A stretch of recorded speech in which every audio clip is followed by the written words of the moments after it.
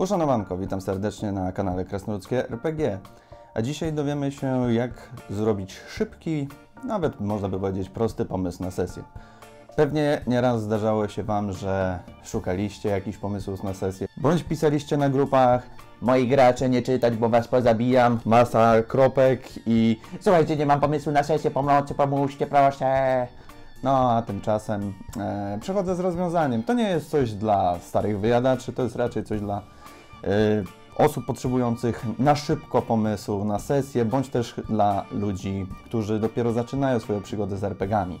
To jest motyw, który będzie mógł e, pomóc Wam rozwiązać przynajmniej część Waszych problemów. Nie jest to remedium na wszystko.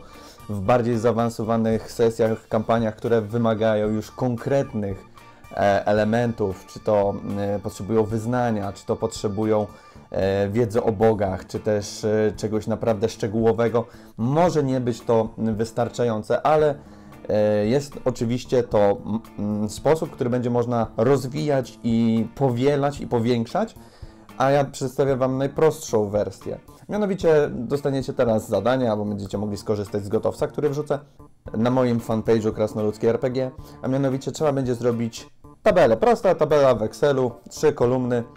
W pierwszej będą wypisane miejsca, w drugiej będą wypisane przedmioty, a w trzeciej będą wypisane emocje. No i tutaj będzie można posłużyć się kołem emocji. Jeżeli macie problem z wypisaniem 20 przykładowych emocji, no to właśnie coś takiego może Wam pomóc. Będziecie mogli sobie wybrać, ich jest wystarczająco. Kiedy już zaczynacie robić tą tabelkę, wypiszcie sobie od 1 do 20 te przedmioty, miejsca, emocje. No i przy pomocy zwykłej kostki 20-ściennej będziecie teraz losować. I z jednej strony można sobie pomyśleć, e, to wiele mi nie ułatwia, ale z drugiej strony można naprawdę w bardzo ciekawy sposób przygotować coś na szybko. Przykładowo macie sesję za parę godzin, nie macie pomysłu, bierzecie tą tabelkę i już coś będziecie mieli, jakąś podstawę albo coś, co będzie można w przyszłości nawet rozwinąć. Jak już mamy to gotowe, no to zaczynamy losować, bierzemy kostkę K20 i wybieramy właśnie odpowiednie elementy. No i będę to robić razem z Wami, więc może być ciekawie. No to zaczynamy losować miejsce. 13. Święty Gaj. Hmm, będzie ciekawie. Przedmiot. Woo! Piątka. Lalka. No i jeszcze emocja. 8. Zachwyt. A więc mamy Święty Gaj, lalkę i zachwyt. Można tutaj teraz zacząć się zastanawiać, jak to wszystko połączyć, ale to nie jest specjalnie trudne. E, pomysł na szybko jest taki, że bohaterowie przemierzając las docierają do pewnego świętego gaju, w którym grupa druidów e, odprawia wszelkiego rodzaju tam rytuały czy cokolwiek. I o dziwo nie robią tego w swój naturalny sposób, łącząc się z przyrodą, ale znaleźli jakąś laleczkę. Może być ona właśnie zrobiona z drewna, żeby bardziej pasowała do elementów druidycznych, e, czy też z liści i tak dalej. Bardzo przypominająca laleczkę voodoo. No i oni są nią zachwyceni i w pewnym stopniu są nią tak zauroczeni, że przestają patrzeć na otaczający ich świat i skupiają się na niej, a nie na siłach przyrody. To może sprawić, że gracze poczują zdziwienie, bo przecież to nie jest typowe. Jeżeli w drużynie mamy druida, to może zrobić rzut na wiedza natura, czy też wiedza religia odnośnie tego, czy takie rzeczy mają miejsce. I tutaj już możemy zacząć kombinować, co z tą laleczką, kto ją przyniósł, jak ona się tam pojawiła. Jeżeli ją znaleźli, to może ktoś miał na tym jakiś cel. No i na przykład druidzi wyznający malara, którzy powiedzmy są dotknięci klątwą likantropii, a może i nawet nie. Rzucili potężne zaklęcie, które skupia na sobie uwagę osób, y, które dotknęły ową lalkę. I oni zaczynają w nią wierzyć, w nią wyznawać, co zaczyna ich coraz bardziej ogłupiać i zaczyna ich coraz bardziej przekonywać do tego, żeby zaczęli wyznawać malara i zaprosili owych likantropów, żeby całą grupę druidów później przemienić w wilkołaki. Gracze mogą zauważyć to, że coś dzieje się nie tak, dzięki czemu będą mogli podjąć kroki, skąd ta lalka się wzięła. Druidzi mogą powiedzieć, bo oni nie są aż tak otumanieni, żeby nie mówić, ale mogą zacząć dociekać, skąd to się wzięło, mogą spotkać owe plemię yy, wilkołaków, czy tam właśnie owych druidów, którzy podrzucili tą lalkę i zacząć e, dochodzić do tego, co tak naprawdę się dzieje. Lalkę mogą zniszczyć, mogą ją spalić, e, co na początku może wściec druidów, którzy zaczną z nimi walczyć. Jeżeli gracze wytrzymają 10 tur, to druidzi zaczynają odzyskiwać świadomość, dzięki czemu będą mogli z nimi porozmawiać i dowiedzieć się czegoś więcej. To jest taki pierwszy pomysł na sesję. No to teraz zrobimy inny przykład. Po raz kolejny bierzemy kostkę i wyrzucamy miejsce. 8. Zamtus. Będzie srogo. 1. O kurde. Łyżka. Więc tak. Zamtus i łyżka. Co będzie dalej? 3. Cierpienie. O matko. Zamtus, łyżka i cierpienie. Pierwsze co przychodzi na myśl to skrobanka w zamtuzie, ale bez przesady. Eee, pewna kurtyzana pracująca w Zamtuzie, no nie wiem, Passiflora, bo się kojarzy z Wiedźminem, prawda? Mamy go tutaj. Eee, poprosiła bohaterów graczy o pomoc.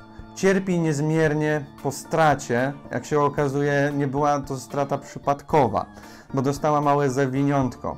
Zakrwawioną złotą łyżkę, na której było oko. Specyficzne oko należące do jej matki, babki albo kogoś bliskiego z rodziny jest ona bardzo. y, Jest ona w stanie je rozpoznać ze względu na to, że w jej rodzinie ten kolor oczu jest bardzo charakterystyczny, e, a ostatnio też nie ma kontaktu z powiedzmy ostatnio żyjącą osobą z jej rodziny.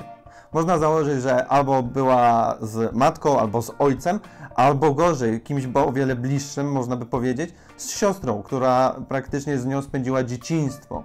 Wraz z listem można spodziewać się pogróżek, albo okupu, albo żądania jakiegokolwiek. Czy można z tego przejść do jakiejś większej przygody, większej kampanii? Oczywiście, że tak. W trakcie waszych przygód mogła zdarzyć się sytuacja, gdzie bohaterowie graczy spotkali się z jakimś gangiem, który zaczyna trząść całym miastem i między innymi ci gangsterzy, czy też y, zbiry, również mają do czynienia z ową dziewczyną. Może była dla nich bardzo ważna, może e, miała duże koneksje, może miała coś bardzo ważnego, o czym jej siostra nie wiedziała, a sama dziewczyna nigdy nie chciała przekazać tej informacji, mimo iż e, niejednokrotnie pewne osoby mogły się z nią spotykać albo zostawiać wiadomości. Z racji tego, że pracowała w Zamtuzie, no to prawdopodobnie była tam ochrona i ciężko było się tam dostać. Ale jeżeli gracze będą chcieli jej pomóc, to jak najbardziej mogą spróbować rozwikłać zagadkę i dowiedzieć się, dlaczego e, owa łyżka z okiem znalazły się w jej domu. A może to jest zupełnie coś innego i o wiele głębszego. Kto wie, to już jest kwestia wasza, a sam, samą podstawę już macie. Ostatni przykład, tak na szybko, to było dosyć trudne, więc ten mam nadzieję będzie łatwiejszy. 18. Straż Miejska. 14. Sztylet. I 19. Znudzenie. Ostatnio w mieście zdarzają się różnego rodzaju ataki na ludzi, zamachy. I to na ludzi najprostszych, naj, tych najbiedniejszych, często na żebraków. Może dlatego, że dowódca straży ostatnimi czasy czuje ogromne znużenie. Nie ma przestępczości, w ich mieście żyje się bardzo dobrze i zaczyna czuć pewne braki w swoim życiu, dlatego sam zaczął e, prowadzić życie kryminalne, zaczyna mordować, bo po prostu nudzi go ta stagnacja, przez co ktoś może wynająć e, bohaterów graczy, może być to na przykład jakiś włodarz, żeby udał się do Straży Miejskiej i razem z nią próbowali dowiedzieć się, kto morduje. Tymczasem gracze będą mieli duży orzech do zgryzienia ze względu na to, że sam dowódca straży, który będzie im pomagał, będzie starał się odciągać ślady, a jedyny ślad, jaki uda się znaleźć, to właśnie owy sztylet sztylet, który będzie można przypisać do Straży Miejskiej. I dowódca może się w tym momencie tłumaczyć, że prawdopodobnie ktoś z jego chłopaków zostawił ten sztylet, albo mu wypadł, albo cokolwiek innego i będzie starał się tuszować wszystko, podczas gdy gracze będą musieli rozwiązać tą zagadkę. Więc jak widzimy, mamy jakiś motyw, może być on ciekawy, można będzie go później rozwinąć, bo może cała Straż Miejska, może mają koneksję z kimś innym, albo pracują dla kogoś. I kwestia znudzenia była taka, że dowódca czekał, miał... I kwestia jest taka, że dowódca miał przez cały czas czekać na polecenia. Tych poleceń nie wydawano, więc zaczął się nudzić i dlatego zabijał.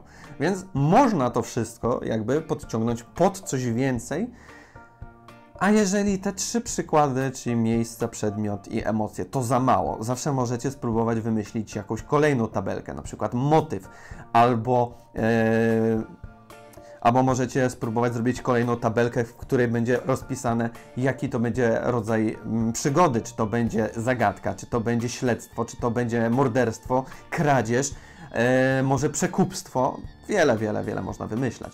Tymczasem ja Was z tym zostawię, bo kto wie, może sami to rozwiniecie i będziecie chcieli z tego korzystać i się z innymi podzielić. Ja tymczasem mam nadzieję, że Wam się podobało, materiał był przydatny.